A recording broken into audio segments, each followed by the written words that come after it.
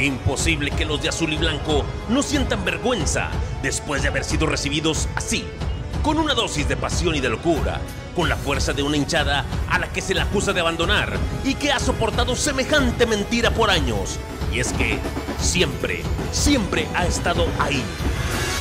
Sí, el sábado estuvo cantando y brincando, con máscaras y tambores, con banderas y humo, con trompetas y ritmo, con rostros de furia y de amor, con irreverencia desmedida, con ataúdes con el logo equivocado, con Dora siempre fiel, con jersey sobre el autobús, con el compadre y el amigo, con policías que trataban de impedir el trabajo del periodismo. ¡Eh, eh, eh! ¡Es compañero, eh, eh! Imposible que los de azul y blanco no sientan vergüenza después de entregar tan poco y de haber recibido tanto por parte de esta afición, la cual pintó con los colores del cielo toda la ciudad, porque sentían, pensaban que había llegado la hora de sepultar al tigre. Graso error. La valentía de cada una de ellas y de ellos fue muy superior a la de aquellos que tenían que plasmarla dentro de la cancha. Y ellos, ellos llegaban solos.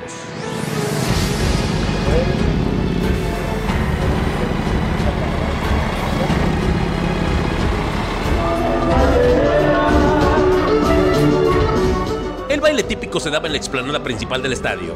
La batucada hacía su propio ambiente. Y ellos, como siempre, entregados, valientes.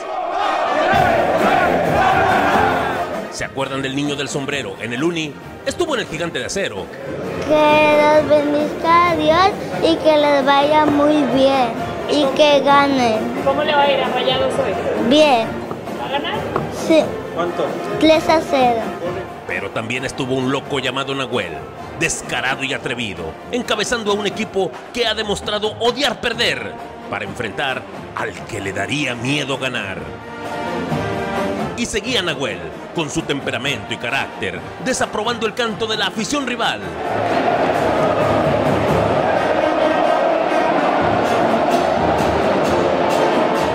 Frente a él, un portero cuya inseguridad contagia. Al partido acudió un invitado especial.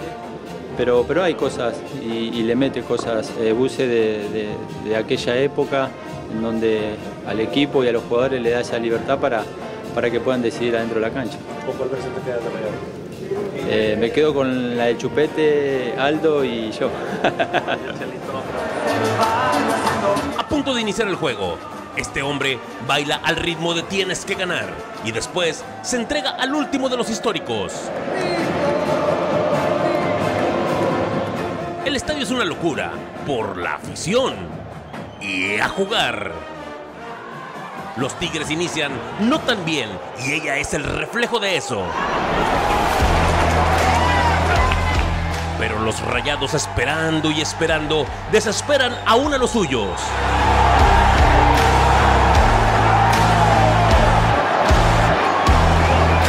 Nuestra amiga sigue impaciente. Él ondea con alegría su bandera. Él vive el juego con emoción.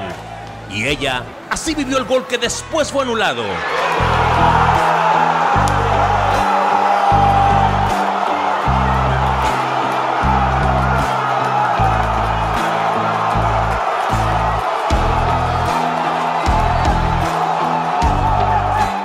La reacción de otros albiazules en el gol.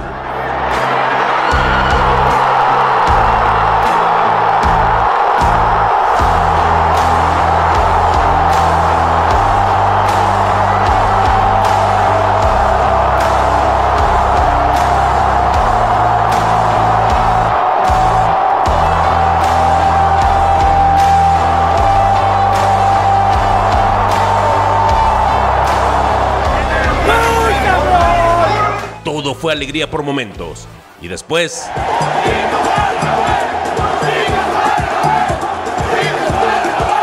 El festejo cambió de color.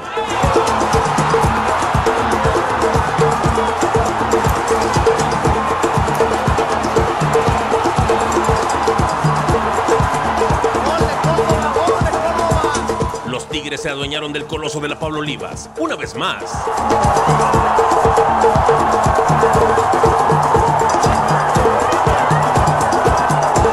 Aparecían el Córdoba y Bigón de tribuna. Los de amarillo lucían felices, los de azul no tanto. Nahuel, amo y señor de todo. Un trago para soportar la tensión, y por ellos no quedaba. Entregaron hasta el alma a su equipo. Nunca, nunca callaron, pese al dolor, pese a la tristeza de ver que en la cancha el rival es de sangre caliente y a los que apoyan, fríos. Aquí no impedía que Cortizo se vistiera de gloria.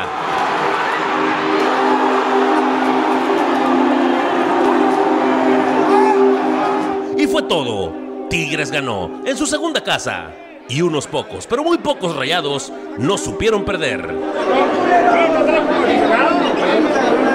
Pirotecnia en medio de la lluvia, una pista de baile desairada, una hinchada sonriente y la de casa de nuevo con la derrota, la cual parecen sufrir más que los 11 que la tuvieron dentro de la cancha. Con imágenes de Edgar Almaguer y Jonathan Martínez, Alejandro Aguirre, Azteca Deportes.